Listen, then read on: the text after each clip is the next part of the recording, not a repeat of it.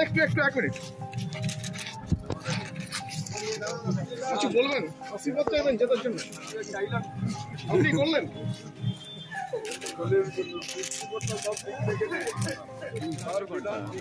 ছাব্বিশ নম্বরে তৃণমূল কংগ্রেস এখনও কোনো প্রার্থী দেয়নি আপনি যে প্রশ্ন করছেন তাহলে তাহলে আমাকে উত্তর দিতে হয় যে মমতা ব্যানার্জির সঙ্গে কথা বলতে হয়। যে উনি ওনার দলের কোনো প্রার্থী কেন দেননি? দাদা খড়গপুরে বিধায়ক ছিলেন আবারও লড়ছেন। মানুষের জন্য কি কি করণীয়? কাজ কি কি করবেন? দেখুন মানুষের জয় মানুষ সিদ্ধান্ত নিয়েছিল ভারতীয় জনতা পার্টিকে জেতাবে। ভারতীয় জনতা পার্টি সিদ্ধান্ত নিয়েছিল যে আমরা খড়গপুরে হেরে যাওয়া সিট থেকে জিতিয়ে আনব হিরণকে। তারা জিতিয়ে এনেছিল তারা আবার সিদ্ধান্ত নিয়েছে যে তেত্রিশ নম্বর ওয়ার্ড হেরে যাওয়া ওয়ার্ড থেকে তারা আবার তাদের ক্যান্ডিডেটকে জিতিয়ে আনবে। এবং এই জয় মানুষের যেমন হয়েছিল বিধানসভাতে, আবার জয় মানুষের হবে। আমার ব্যক্তিগত কোনো জয় নেই, আমার কোনো, আমি কোনোদিনও বলিনি, আপনাদের কোথাও কখনো বলি না, ছোটোবেলা থেকে কখনো বলি না যেটা আমার জয়, আমার হার। সবসময় যেটা সিদ্ধান্ত নেয়, মানুষ নেয়। যখন আমি পরীক্ষা দিয়েছি মাধ্যম, মাধ্যমিক, উচ্চ মাধ্যমিক ডেফিনেটলি সেটা আমার পাস ফেল ছিল। এবার যখন মানুষকে নিয়ে আমরা কাজ করি, সেটা হয় মানুষের জয় হয়, মানুষের হার হয়। আজকে বর্ষিয়ান তৃণমূল নেতাকে প্রণাম করে ঢুকলেন। মানে না, আমি তো ন মাস ধরে ওখানেই থাকি। উনি তো দেখেছেন, আমি ওনাকে, আমার যে কোনো অনুষ্ঠানে ওনাকে আমি নিমন্ত্রণ করি। যে কখনই যে কোনো অনুষ্ঠান হয় আমি ওনাকে নিমন্ত্রণ করেছি। ফোন করে নিমন্ত্রণ করেছি, চিঠি দিয়ে নিমন্ত্রণ করেছি। যখন দেখা হয়েছে, মন্দিরে দেখা হয়েছে, সেখানেও প্রণাম করেছি, একসঙ্গে করেছি। এটা তো আজকের জন্য নয়, তো ন মাস ধরে এরকম তো আপনাদের কাছে অনেক ফুটেজ আছে। যখনই জহরবাবুকে দেখেছি তখনই সে সম্মান দিয়েছি। কারণ মানুষ তো আগে রাজনীতি তো অনেক পরে। আগে মানুষ বাঁচবে তারপরে তো রাজনীতি। জহর পালের বিরুদ্ধে আপনি প্রার্থী সেক্ষেত্রে কি অনেকটাই টাফ নাকি সোজা? এখানে বিরুদ্ধে কিছু নয় এখানে মানুষের জয়ের জন্য এসেছি। মানুষ সিদ্ধান্ত নেবেন যে তারা সত্যের সঙ্গে থাকবেন তারা উন্নয়নের সঙ্গে থাকবেন। মানুষ দেখেছেন যে নব্বই বছরে যেটা খড়গপুরে হয়নি সেটা ন মাসে চেষ্টা করেছেন তাদের বিধায়ক। মানুষ সেটা দেখেছেন। এই ন মাসে যা যা আমি কাজ করেছি, মানুষ দেখেছেন। মানুষ দেখেছেন যে বিধায়ক কলকাতার বিলাসবহুল ফ্ল্যাটে থাকেন না। মানুষ দেখেছেন যে খড়গপুরের একটা ছোট্ট বাড়িতে তাদের বিধায়ক থাকে। মানুষ দেখেছে যখন বর্ষা হয়, বৃষ্টি হয়, বিধায়ক অন্য সাংসদ, অন্য এমএলএদের মতো কলকাতায় বসে থাকেন না ফাইভ স্টার লাক্সারি অ্যাপার্টমেন্টে মানুষ দেখেছেন সেই বিধায়ক এক কোমর জলে নেমে তাদের বাড়িতে বাড়িতে গিয়ে তিরপল দিয়ে এসছে। মানুষ দেখেছে যে এখানে যখন শীত পড়ে, তাদের বিধায়ক রাত্রিবেলা গিয়ে কম্বল দিয়ে আসে, যারা গাছের তলায় শুয়ে থাকে। মানুষ দেখেছে যখন এখানে করোনা চলছিল সেকেন্ড ওয়েভ তখন অক্সিজেন সিলিন্ডার কেউ জোগাড় করতে পারেনি। বিধায়ক কলকাতা থেকে অক্সিজেন সিলিন্ডার জোগাড় করে নিয়ে এসেছিল। মানুষ দেখেছে যে গরিব মানুষগুলোর, এই এই থার্ড ওয়েভ যেটা হলো অমিক্রণ সেখানেও আমি কত ওষুধ দিচ্ছি কত মানুষকে। তো মানুষ দেখেছেন যে বিধায়ক তাদের সঙ্গে কতটা থাকেন। আর যারা অপপ্রচার করা তারা তো করবেন। দেখুন ওটা তো ওদের কাজ। আপনি যখন অপোনেন্ট খেলতেছেন এই ন মাসে যা যা আমি কাজ করেছি মানুষ দেখেছেন। মানুষ দেখেছেন যে বিধায়ক কলকাতার বিলাসবহুল ফ্ল্যাটে থাকেন না। মানুষ দেখেছেন যে খড়গপুরের একটা ছোট্ট বাড়িতে তাদের বিধায়ক থাকে। মানুষ দেখেছে যখন বর্ষা হয় বৃষ্টি হয় বিধায়ক অন্য সাংসদ অন্য এমএলএদের মতো কলকাতায় বসে থাকেন না ফাইভ স্টার লাক্সারি অ্যাপার্টমেন্টে মানুষ দেখেছেন সেই বিধায়ক এক কোমর জলে নেমে তাদের বাড়িতে বাড়িতে গিয়ে তিরপল দিয়ে এসছে। মানুষ দেখেছে যে এখানে যখন শীত পড়ে, তাদের বিধায়ক রাত্রিবেলা গিয়ে কম্বল দিয়ে আসে যারা গাছের তলায় শুয়ে থাকে। মানুষ দেখেছে যখন এখানে করোনা চলছিল সেকেন্ড ওয়েভ তখন অক্সিজেন সিলিন্ডার কেউ জোগাড় করতে পারেনি, বিধায়ক কলকাতা থেকে অক্সিজেন সিলিন্ডার জোগাড় করে নিয়ে এসেছিল। মানুষ দেখেছে যে গরিব মানুষগুলোর এই এই থার্ড ওয়েভ যেটা হলো অমিক্রণ সেখানেও আমি কত ওষুধ দিচ্ছি কত মানুষকে। তো মানুষ দেখেছেন যে বিধায়ক তাদের সঙ্গে কতটা থাকেন? আর যারা অপপ্রচার করা তারা তো করবেন। দেখুন ওটা তো ওদের কাজ। আপনি যখন অপোনেন্ট খেলতে নামবেন তখন সে সবসময় আপনাকে আটকানোর চেষ্টা করবে আপনাকে গোল দেওয়ার চেষ্টা করবে। সেটা তার অধিকার। এই তেত্রিশ নম্বর ওয়ার্ডের তো আপনি বাসিন্দা নন। জহরপাল ওই ওয়ার্ডের বাসিন্দা।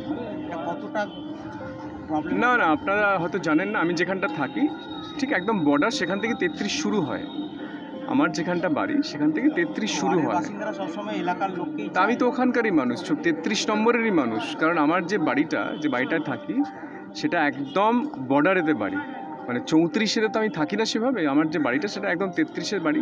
আমি সেখানেই থাকি যা দুঃখজনক ঘটনা আমার খুব দুঃখ লেগেছে যে জহরবাবু এত বছর ধরে উনি পঁয়ত্রিশ নম্বর ওয়ার্ড থেকে জিতে এলেন। উনি পঁয়ত্রিশ নম্বরের কাউন্সিলর ছিলেন।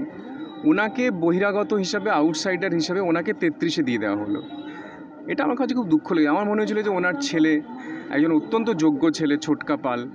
যদি যে ওখানেই থাকে, কারণ জহরবাবু তো পঁয়ত্রিশ নম্বরের কাউন্সিলর তাকে হঠাৎ করে নিয়ে এলো। আমি আশা করেছিলাম যে ছোটকা আমাদের ছোট ভাইয়ের মতো, ও যদি ওখানে তেত্রিশ থেকে পেতো, তাহলে লড়াইটা আরও ভালো হতো আরও মোর চ্যালেঞ্জিং হতো এখন কি লড়াই মানে চ্যালেঞ্জিং হবে মনে হচ্ছে একদমই মনে হচ্ছে কারণ ওখানকার মানুষ নিজে বলছেন যে, দাদা, আমরা উনি তো পঁয়ত্রিশ নম্বরের কাউন্সিলর হঠাৎ করে তেত্রিশে কেন এলেন? এটা সমস্ত মানুষের, আমি তো তখন তেত্রিশেই ওখানে, ওখানেই আমি ব্যাডমিন্টন খেলি, ওখানেই আমি ফুটবল ম্যাচ করি, ওখানেই যতবার বন্যা হয়েছে ততবার মানুষের সঙ্গে গেছি, ওখানেই মানুষের সঙ্গে সবসময় থাকি। তো ওখানে ওখানে মানুষ তো আমার সঙ্গে লাস্ট ন মাস ধরে মানুষের সঙ্গে সম্পর্কে আছে। মানুষ বলেছিলেন যে, পঁয়ত্রিশ নম্বর ওয়ার্ড থেকে তুলে এনে কেন নিয়ে আসতে হবে তাই না? জয়টা কি তাহলে আপনার সহজ হয়ে গেল দেখুন মানুষের কাছে এই জয়টা অনেক সহজ। কারণ মানুষ পঁয়ত্রিশ নম্বরের কাউন্সিলরকে তেত্রিশ নম্বরে আমার মনে হয় না মেনে নেবেন। আমার মানুষের যেটা রায়। সৃষ্টিকর্তা ঠিক করে রেখেছেন কি হবে না হবে। কারুর আশীর্বাদে আর কারুর অভিশাপে কিছু হবে না। ঠিক আছে? বিধান যা আছে হয়ে গেছে। এবার খালি ফল প্রকাশ পেতে দেরি আছে। বিধান ঠিক হয়ে গেছে। আশীর্বাদ জনগণ দেবে। জনগণ যাকে আশীর্বাদ দেবে সেই জিতবে। আমি আশীর্বাদ দেনেওয়ালা কে? জনগণ আমরা মানুষে বিশ্বাস করি আমরা বিশ্বাস করি তৃণমূল কংগ্রেস বিশ্বাস করে মমতা বন্দ্যোপাধ্যায় বিশ্বাস করে মানুষ শেষ কথা বলবে। আপনারা আমরা এই যারা আছে কেউ কিছু না। মানুষ শেষ কথা বলবে তার জন্য মানুষ তৈরি আছে। না না আম- আমাদের আমরা কাউকে অবজ্ঞা করা, অশ্রদ্ধা করা, এটা রাজনীতি, আমাদের মমতা বন্দ্যোপাধ্যায় শেখানি আর আমরাও শিখেনি ছোটোবেলা থেকে প্রত্যেকেই, প্রত্যেকের সঙ্গে মিলে চলতে পারে। যদি রাজনীতির প্রশ্নটা আলাদা, নীতিগত প্রশ্নটা আলাদা, আমি নীতিগতভাবে সমর্থন নাও করতে পারি। করি না, তাই তো আজকে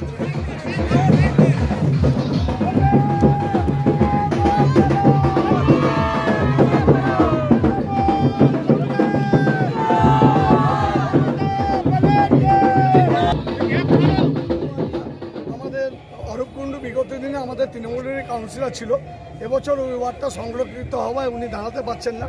ওনার প্রপোজালেই আজকে আমি ওই ওয়ার্ডে, আমাদের পার্টির প্রপোজালে মমতা বন্দ্যোপাধ্যায় ইচ্ছায় ওই ওয়ার্ডে আমি সুযোগ পেয়েছি। যেহেতু ওই ওয়ার্ডে আমাদের বিগত দিনের তৃণমূলের কাউন্সিলর ছিল, সে তার সাধ্যমতো কাজ করেছে। আমাদের আশা থাকবে আগামী দিনে তার এক্সপিরিয়েন্স এবং আমার নতুন চিন্তাভাবনায় ওই ওয়ার্ডটা আরও বেশি করে কাজ করব। কেন? খড়গপুরের মানুষ বিগত দিনে দেখেছে যে দিলীপ ঘোষকে সাত বছর দুবার এমপি এবং এমএলএ হিসাবে জিতিয়ে ব্যর্থ। হিরণ ছ মাস হলো, মানুষ কাজ দেখেছে ব্যর্থ। রাস্তায় হিরণ আর গ্রুপ আর দিলীপ ঘোষের গ্রুপ রাস্তায় মারপিট হচ্ছে। আপনারা কালকে টিভিতে দেখেছেন, সারাদিন বিজেপির গুন্ডাদের মানে যে পার্টিটাতে খালি সব দাদাভাইরাই থাকে, আপনারা দেখেছেন যে সমস্ত অফিস ভাঙ, চুর দেখা যাচ্ছে। তো এইসব দেখে মানুষ, আমরা আশাবাদী যে ওদেরকে একটিও ভোট দেবে না। আমরা খড়গপুরে পঁয়ত্রিশটায় পঁয়ত্রিশটা ওয়ার্ড জিতে এবছর ভোট করব আর রইল ছ নম্বর ওয়ার্ড আমরা ছ নম্বর ওয়ার্ডে নিশ্চিতভাবে আমরা অনেক বেশি ভোটে জয়লাভ করব, এটা।